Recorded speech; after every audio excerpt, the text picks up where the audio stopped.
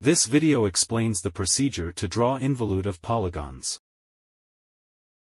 Initially we will see involute of a square. As the first step we have to draw the square. Draw one side of the square. Next side is drawn by taking 90 degree. Another 90 degree line at the other edge. The fourth side can be drawn by joining the end points of other two sides. The corners of the square can be numbered. Draw a horizontal line from the first corner of the square. Length of the line is equal to the perimeter of the square. One side of the square is taken as 40 mm, and square has four sides. Therefore perimeter is 40 times 4 equals 160 mm. Divide this horizontal line into four equal divisions. And mark it with numbers. Extend each side of the square. Measure the distance of 1 dash to 2 dash on the horizontal line.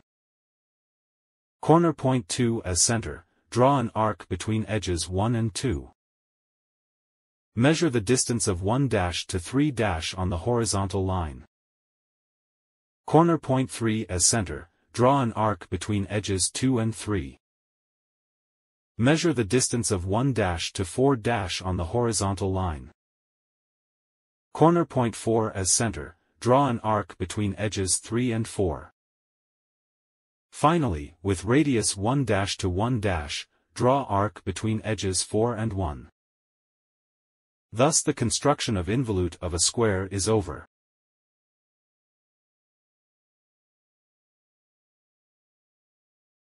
Next is involute of pentagon. As the first step we have to draw a pentagon. Draw one side horizontally. Draw the next side by taking 72 degree angle externally. Similarly, at the other end of horizontal edge draw a 72 degree line and mark the side of the pentagon. From the end points of these 72 degree lines, draw arcs of radius equal to the side of pentagon. These arcs will intersect. Join this intersection point, with the end points of previously drawn edges. Thus the pentagon construction is over. Mark numbers on the corners of pentagon. Draw a horizontal line from the first corner of the pentagon. Length of the line is equal to the perimeter of the pentagon. One side of the pentagon is 30 mm and pentagon has 5 sides. Therefore perimeter is 30 times 5 equals 150 mm, divide this horizontal line into 5 equal divisions. Mark numbers on the divisional points. Extend each side of the pentagon. Measure the distance of 1 dash to 2 dash on the horizontal line. Corner point 2 as center, draw an arc between edges 1 and 2. Measure the distance of 1 dash to 3 dash on the horizontal line.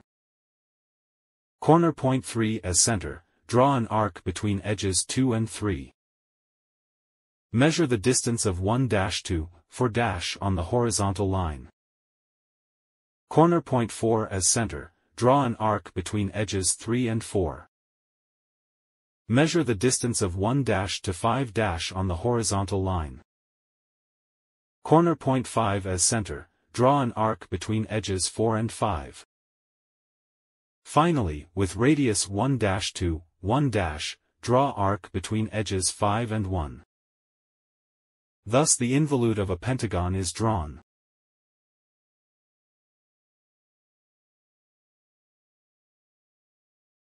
Next is involute of hexagon.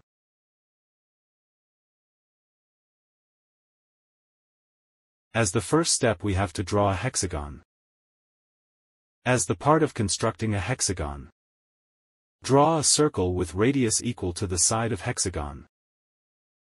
Draw a horizontal center line for the circle. With the same radius. Cut arcs on the circle from the end points of the center line.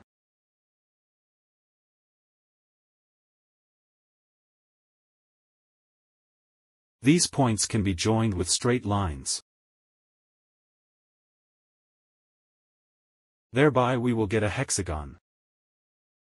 Mark numbers on the corners of the hexagon.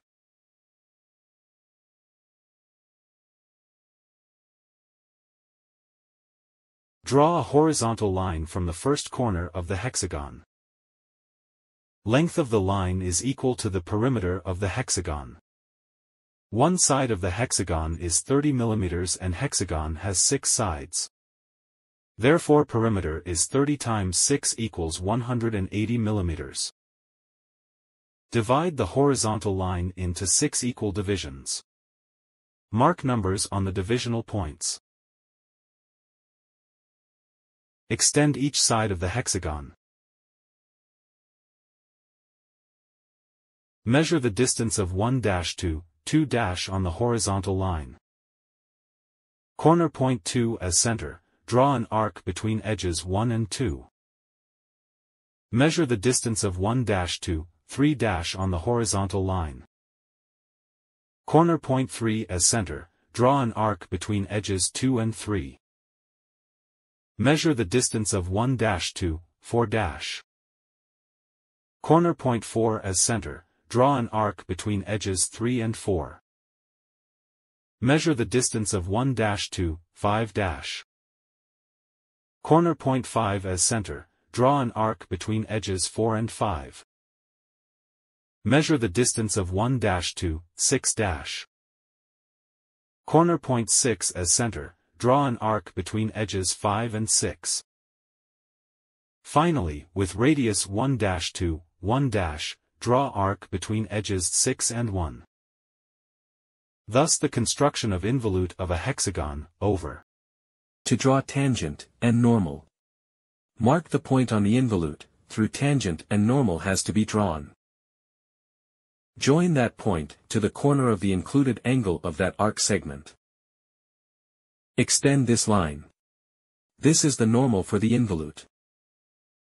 Draw a perpendicular line to the normal, through the same point. This line is tangent.